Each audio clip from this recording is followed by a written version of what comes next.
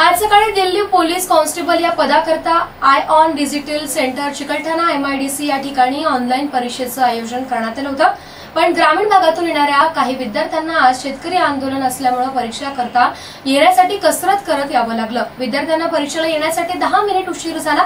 या कारणाने त्या ठिकाणच्या सिक्युरिटी गार्डनं विद्यार्थ्यांना परीक्षा केंद्रामध्ये येण्यास बंदी घातली होती. यामुळे या विद्यार्थ्यांना परीक्षेला मुकावं लागलंय. याविषयी सविस्तर माहिती अशी की आज दिल्ली पोलीस कॉन्स्टेबल या पदाकरता iON digital centre Chikalthana M I D C या ठिकाणी ऑनलाईन परीक्षेचं आयोजन करण्यात आलं होतं. भारत बंद असल्याकारणाने काही विद्यार्थी परीक्षेला उशिराने सेंटरवर दाखल झाले होते. यामुळे येथील सिक्युरिटी गार्डनं उशिरा आलेल्या विद्यार्थ्यांना आत प्रवेश दिला नाही.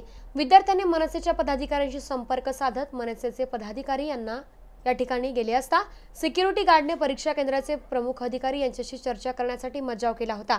परंतु मनसे कार्यकर्त्यांनी सिक्युरिटी गार्डला न जुमानता त्या ठिकाणी परीक्षा केंद्रात प्रवेश करत त्या ठिकाणी परीक्षा केंद्राचे प्रमुख मनसे पदाधिकाऱ्यांसोबत चर्चा करण्यास नकार देत होते.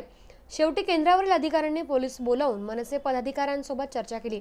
पण चर्चा करून त्यांनी सांगितलं की ही परीक्षा ऑनलाईन आहे त्यामुळे आम्ही काहीही करू शकत नसल्याचं सांगितलं. यावेळी मनसेचे संतोष कुटे चंदू नवपुते बाबूराव जाधव रामकृष्ण मोरे हे उपस्थित होते.